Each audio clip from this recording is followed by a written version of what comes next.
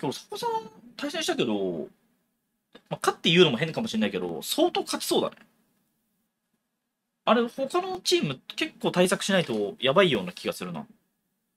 なんか、や、いや、ちょっとね、全然ミカ戦やってないんだよね、佐古さん。ミカ戦全然やって、やってないんだ。他の組み合わせやってんのよ、どっちかって言ったら。キャミー戦とかね。キゲーは、あれは趣味でしょってみんな思ってたから。坂さんは多分、その、影使ってる時も、いや、絶対これみんな、メナトでしょって思ってたから。まあ俺は少なくとも思ってたし。いや趣味だろ、趣味。楽しいんだろうなって。あ、奥さんイベント終わった？いい。ストリートファイター白書。あ誘誘白っぽいやつだよね。しかもあのね、春国殺盛り上がるじゃん。あれ、利敵で？俺利敵だと思ったもん、俺見てて。あの、影、絶対春国殺じゃない方が強いから。あの、トリガー2本の方でヒット発動して、あの、画面端まで運ぶコンボがあるんですけど、それ、それの方が絶対強いから、俺これ、なんかちょっとかわいそうだなと思って見てたもん、なんか。そのいや、あんま強くない選択肢を、そう、やんないといけないみたいな。やるとすごいみんな喜ぶじゃん。けどなんかその、けどこの選択肢より絶対、うん、そう、強くないよなって、さ強くない、強いんだけど、比べた時に強くないんだよ。相対的に強くないから、選択肢として。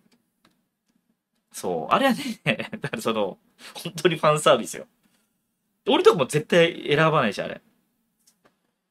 あれ、豪気の春国殺はさ、あの、そもそもトリガー1が超強くて春国殺持ってるから強いんだけど、あの、トリガーの差がやっぱあったね、あれは。だからね、やっぱね、かっこいいはね、時にね、こう、勝率を避けてしまうみたいなのもあるよね。チャット欄が消えてた。多かったよね。ミカのマイクパフォーマンスね。これ、いくつ減るんだろうね。あれめっちゃ減ると思うよ、あれ。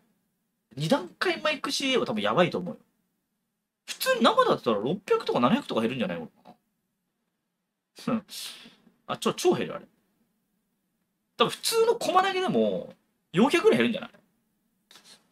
ああ、はい、谷さんがメール使ってるのはめることしか頭ないはずのトリガー合わせてシフトあんだけ使ってるのマジうん、そうだね。うん。あのシーオーバーキル。超オーバーキルだよ。超オーバーキル。100か200ぐらいはオーバーキルだったと思います。マイク2段階っていかないからね。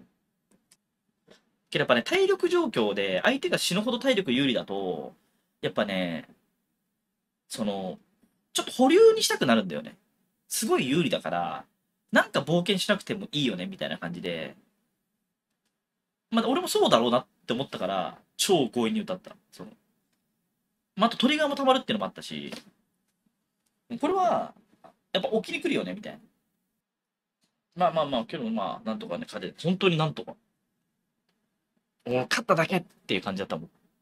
本当に。勝ち負けで言うとね、本当に五分だったなって。まあ最終的に立ってた感じでしたね。